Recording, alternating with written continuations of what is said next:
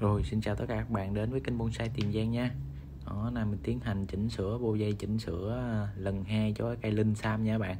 Cái cây này thì à, chỉnh sửa một lần rồi, một nước rồi. Đó, rồi à, mình bỏ quên các bạn Quên một thời gian á, dây nó khuyết hết trơn rồi.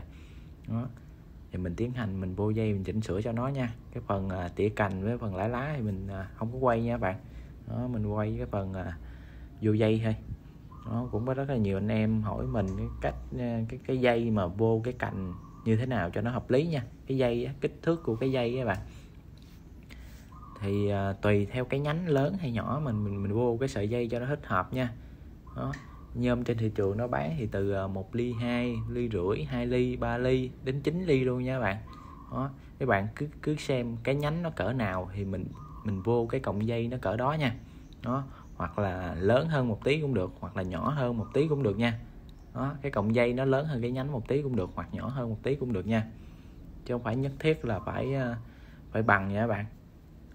Đó. tùy theo cái loại cây đó đó đối với dòng linh sam này thì nó rất là dẻo. Đó, đối với nhánh lớn quá thì chúng ta có thể vô dây đôi nha vô lần hai sợi. Đó. còn nhánh ờ, nhánh nhỏ thì chúng ta vô một sợi thôi giờ mình tiến hành vô dây nha. Tiếp này mình quay chủ yếu cho anh em mới tập chơi nha.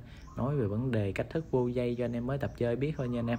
Còn anh em chơi lâu năm thì anh em anh em rất là rành rồi anh em anh em có thể xem những cái clip khác nha. Chứ đừng nên bình luận những cái lời không hay cho đây nha anh em. Nó có rất là nhiều anh em em không biết sao mà vô bình luận những cái lời mà không thể nói trên đây được. Đó, mình làm clip chủ yếu là chia sẻ kinh nghiệm của bản thân mình thôi. Đó, cho anh em mới tập chơi đâu phải ai chơi bonsai cũng đều biết hết đâu.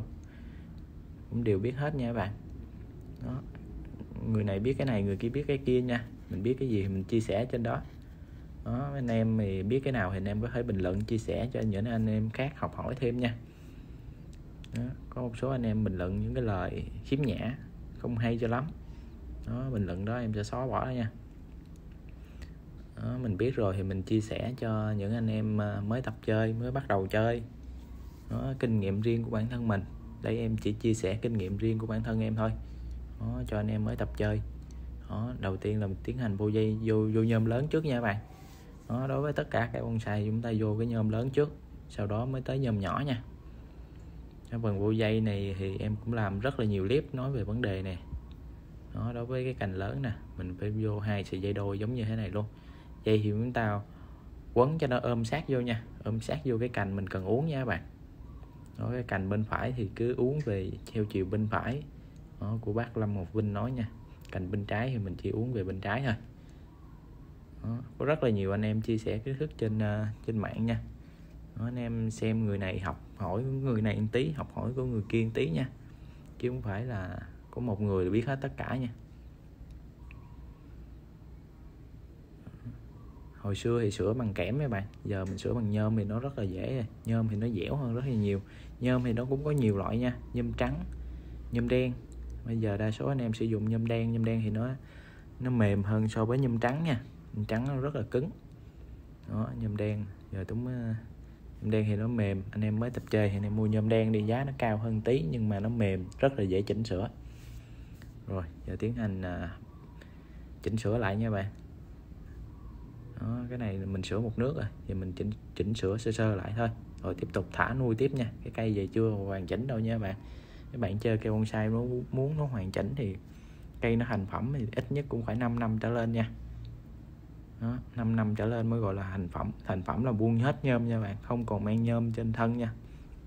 Đó với anh em mà chơi cây mà nó còn mang nhôm hết thì chưa gọi thành phẩm được nha.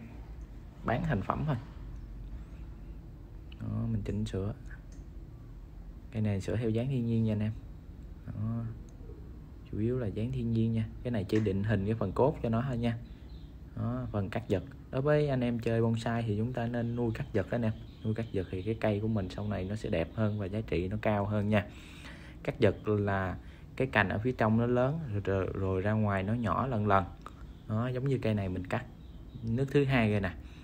Chúng ta sửa nước thứ nhất rồi sau đó chúng ta thả cho cái cành nó lớn. Đó khi nào nó cân so với cái cây thì chúng ta cắt ngắn đi. Xong rồi chúng ta dẫn ra một nhịp tiếp nữa gọi là cắt giật đó nè, hình thức cắt giật là phía trong nó lớn phía ngoài nó nhỏ. Đó như vậy thì cây của mình nó sẽ đẹp và tự nhiên hơn rất là nhiều nha. Và làm cho giá trị của cây của mình nó sẽ cao hơn rất là nhiều. Đó đây là mình vô dây chỉnh sửa sơ sơ thôi nha các bạn.